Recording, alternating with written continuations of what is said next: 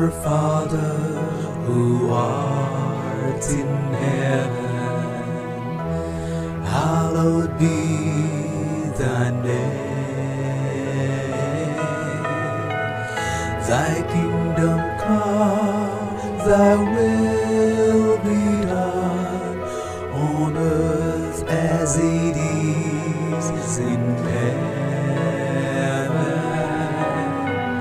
Give us this day our daily bread, and forgive us our trespasses,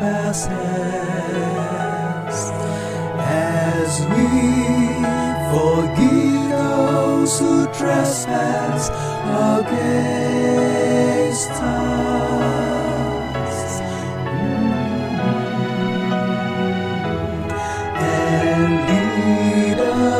Not into temptation, but deliver us, deliver